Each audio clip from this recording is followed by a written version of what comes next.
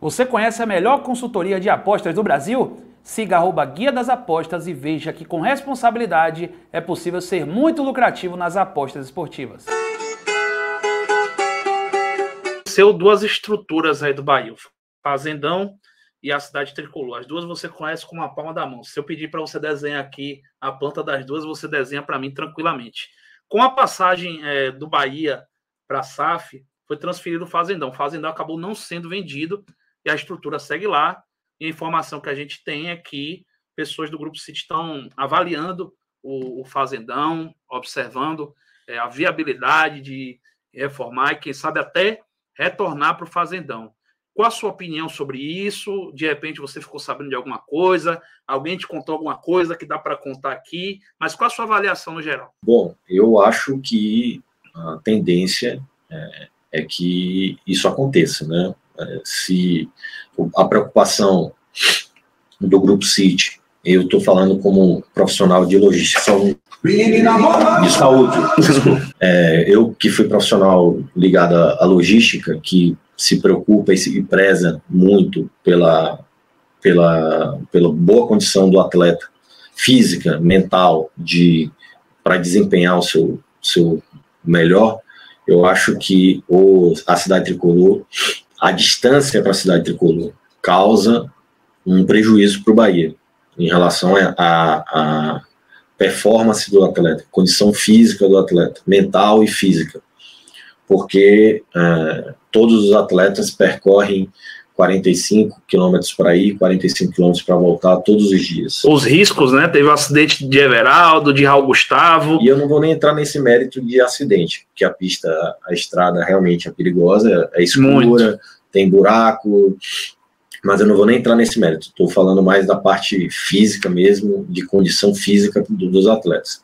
Quando o Bahia vai fazer uma viagem, por exemplo, para São Paulo, que o voo é à tarde, o atleta vai treinar de manhã, ele tem que ir para a cidade tricolor. A viagem do Bahia começa sete horas da manhã, quando o atleta tem que ir para a cidade tricolor, Dias Dávila, fazer um treino, depois pega um ônibus, sai da cidade tricolor, vai para o aeroporto, chega no aeroporto a uma, uma hora antes do voo, pega o voo, às vezes tem conexão, apesar de que agora melhorou bastante essa questão dos voos fretados, mas aí às vezes o Bahia vai vai fazer um jogo em Porto Alegre, por exemplo, a viagem do atleta começa às sete da manhã e se encerra às sete da noite quando ele entra no, no quarto do hotel. E isso não acontece com os, as potências, os principais clubes do Brasil, porque em termos geográficos a diferença é, é, é brutal. O Bahia tem aí, é, sem sombra de dúvida, a segunda ou terceira pior logística de quilômetros a percorrer. Já viu algum atleta reclamando já? Ah, demais, demais. Eles reclamam muito. Então, assim, o Fortaleza é o pior disparado pela posição geográfica. É, o Cuiabá tem muita dificuldade pela oferta de voos. E o Bahia também, porque ah, algumas viagens eh, acabam ficando bastante cansativas e o CT acaba, a distância do CT. Não estou falando do, do, da qualidade do centro de treinamento do Bahia, porque ela é indiscutível, ela melhora a cada dia, o CT é, é excelente.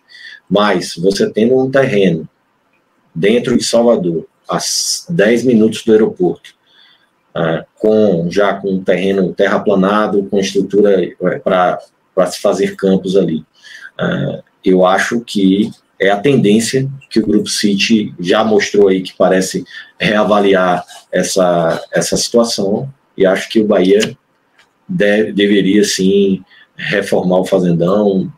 Aí o formato eu não sei, mas o futebol profissional ir para o Fazendão, a cidade tricolor ficar para a base, para o feminino, não sei qual será o, o, o formato, mas acredito que as pessoas que lá estão já estão percebendo o desgaste é, que esse trânsito, esse, esse, esse trânsito para a cidade tricolor é, causa no dia a dia do clube.